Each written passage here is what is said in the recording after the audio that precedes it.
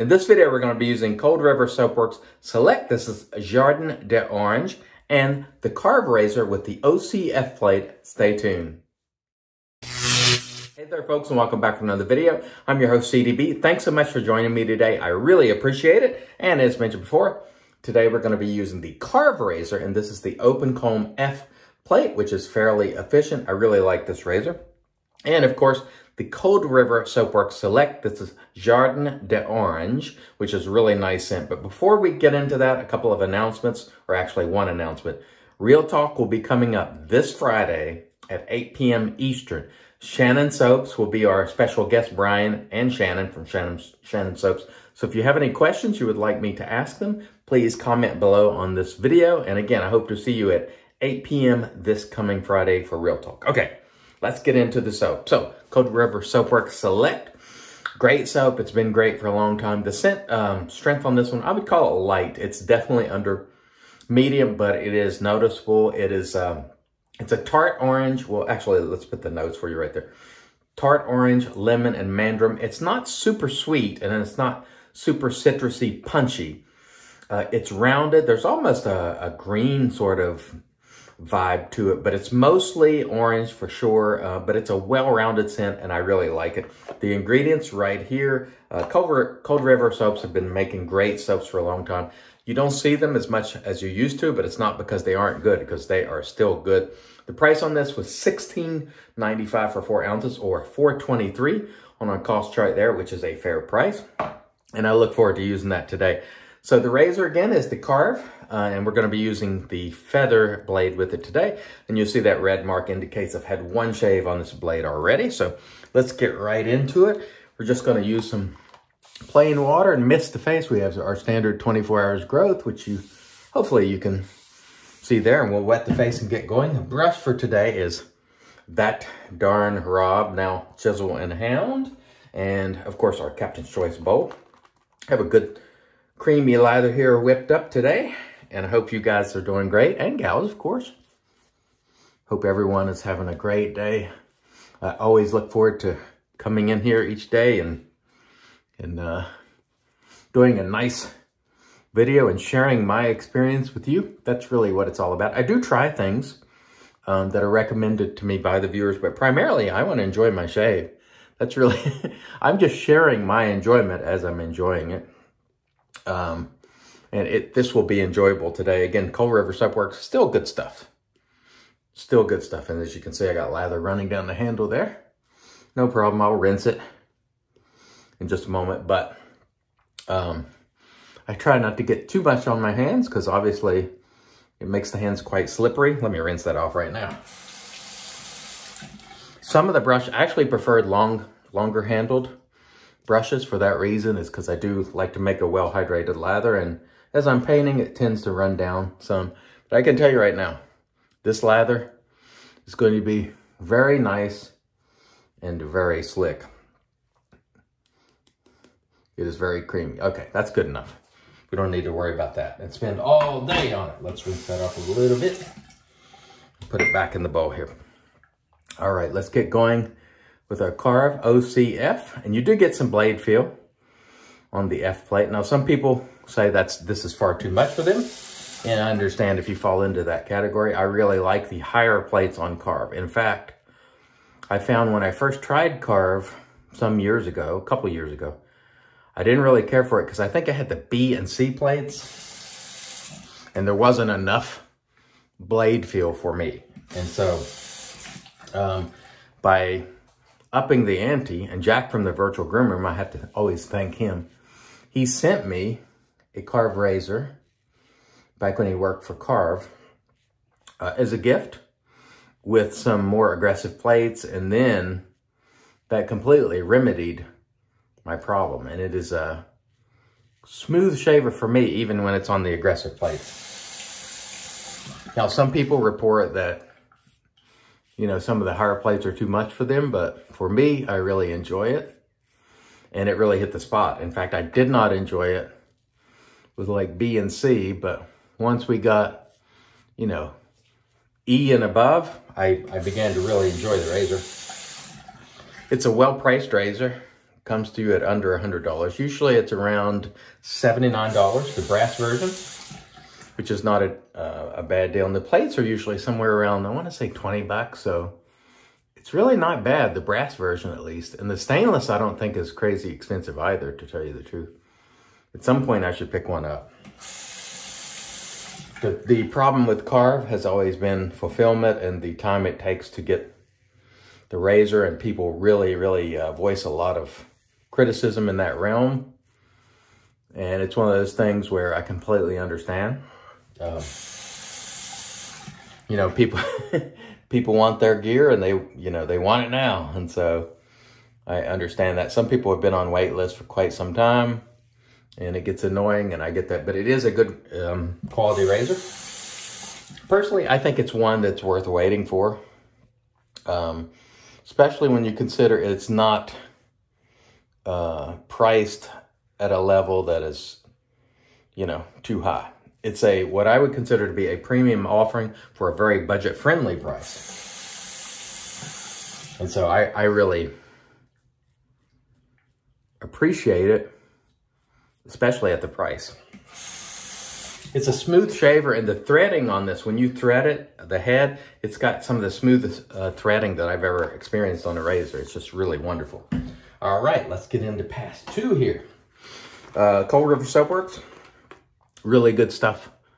Um, it's been a good quality soap for many, many years. It remains so. And now, of course, they have their Glide base, which is very good. But honestly, any of their offerings, I think are going to hit the quality marks for you.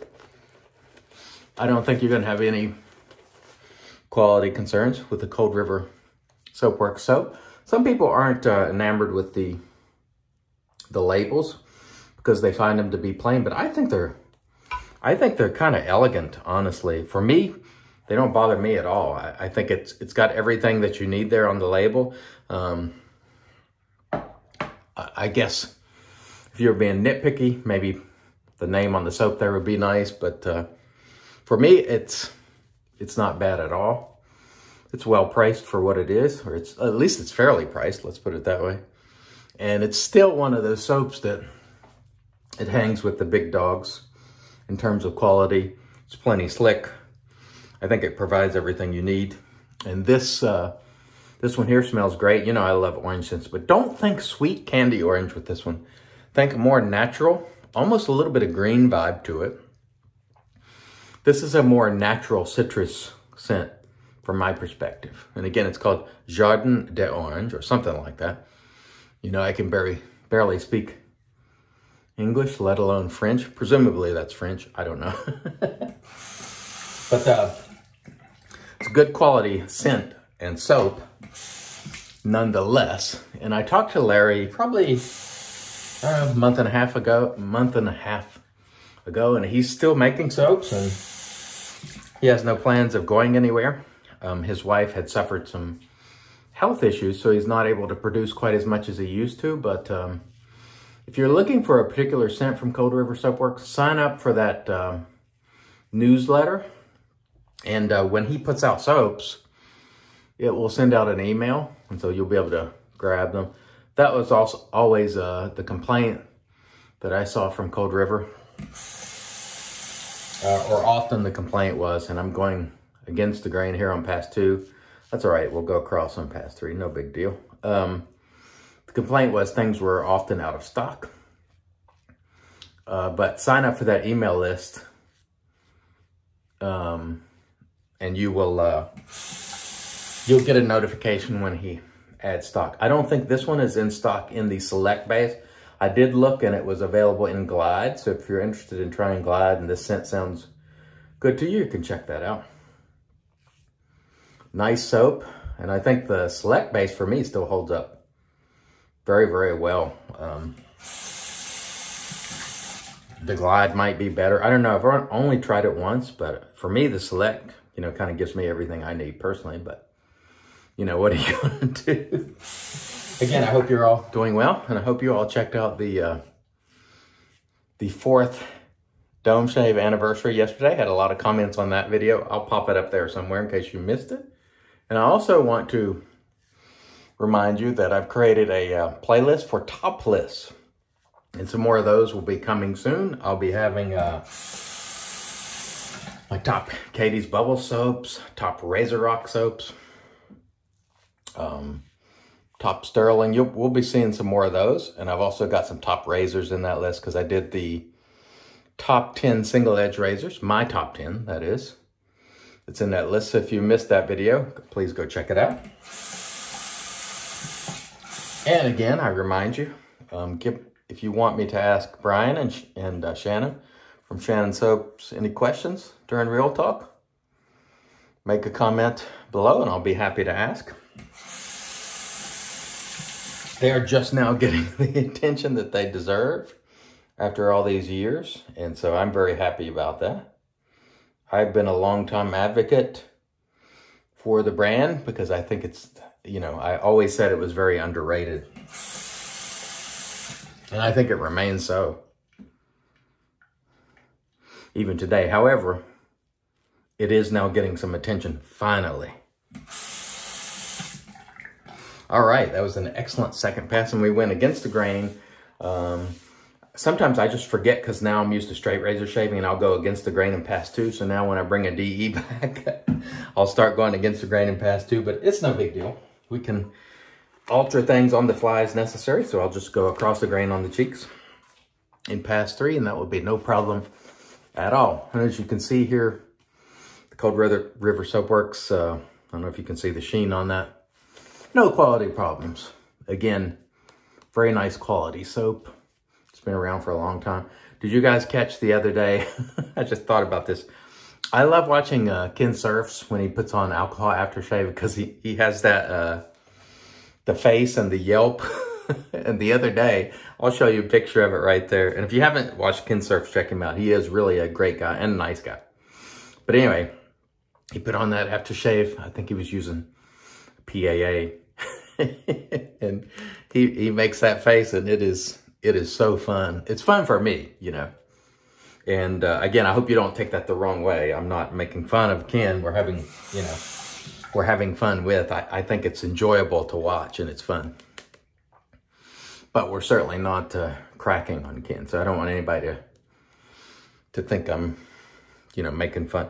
It seems like when it comes to Ken, like sometimes if you make any sort of comment, people get very sensitive about you know, because I saw uh, Chris Maiden was doing sort of a a joking tribute, sort of Ken Surf Slather, and people got all up in arms, and even Ken said, "It's okay, you know, it's it's fun, you know, we're having fun." So try not to, you know, it's it's usually pretty obvious when people taking a shot at someone, and uh, when I do something like this, and when I bring up something like that or show a photo, I'm honoring them and having fun. You know, it's not taking a shot at. And so please don't uh, take that the wrong way. I enjoyed it. I posted that, that photo on Instagram because nobody has as good as an alcohol, has as good of an alcohol burn face than Ken Surfs. He's the best in the game at that.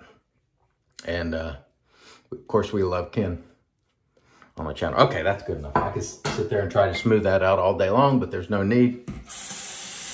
I got a lot, a lot of hydration in this one, probably more even than I need, but it will be just fine, I promise you. Uh, because all I need is slickness, and it is slick. And so there's absolutely no problem with slickness. And so we are good to go on that front. Okay. So this time we're gonna actually remember to do the right thing and go across the grain on the cheeks. because we forgot last pass. Very nice. The feather in the uh, Karve here on plate F is, is quite good for me. No problems whatsoever.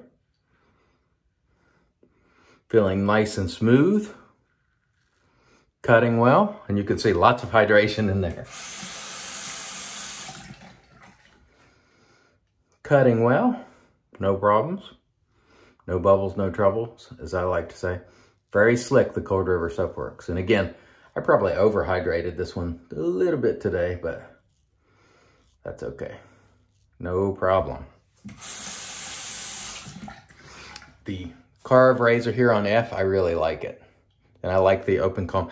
This is probably my second favorite open comb Um, and the reason?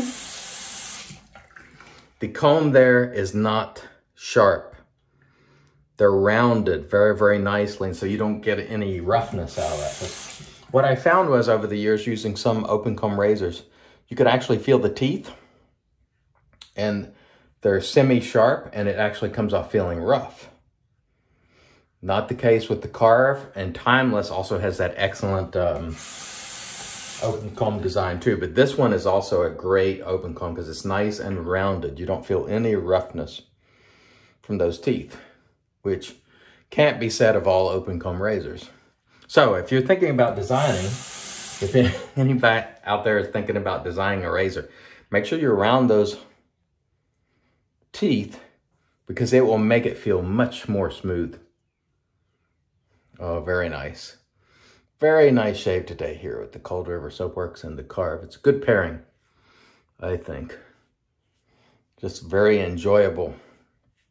And this is why I like to get up and get in here, is just to get the shave on and enjoy these magnificent soaps and scents. And, uh, of course, this great razor. And just like that, we've had an excellent shave today. Plenty of residual slickness there from the Cold River Soapworks. Again, I probably overhydrated it today, but it still did the job very, very well. All right, let me rinse. We'll come back, get into the post. Stay tuned.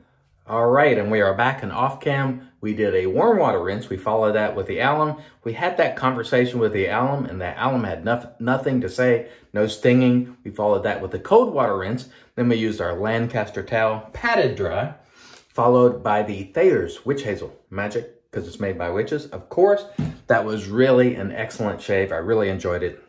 The Karve Open Comb with, uh, this is the F plate. I don't know if you can see the F, but it's on there somewhere under there. Uh, very, very nice, smooth shaver. I really enjoyed it with feather blade on its second use.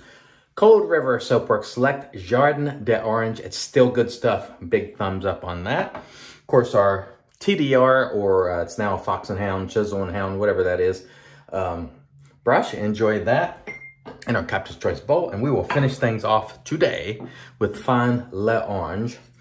Uh, after shave, we're going to try to kill this bottle at some point. We're going to bring this in when we're, when we're using orange stuff a lot and try to use some of these up. Put just a little bit in there, slap it on, and we'll be off to the races. It was a great shave today. No nicks, cuts, creepers, weepers, irritation, bubbles, troubles. I hope you have the same sort of shaves today yourself. Thank you so much for joining me. Until next time, I'm your host, CDB, reminding you, it's your shave, do it your way, and as always, God bless.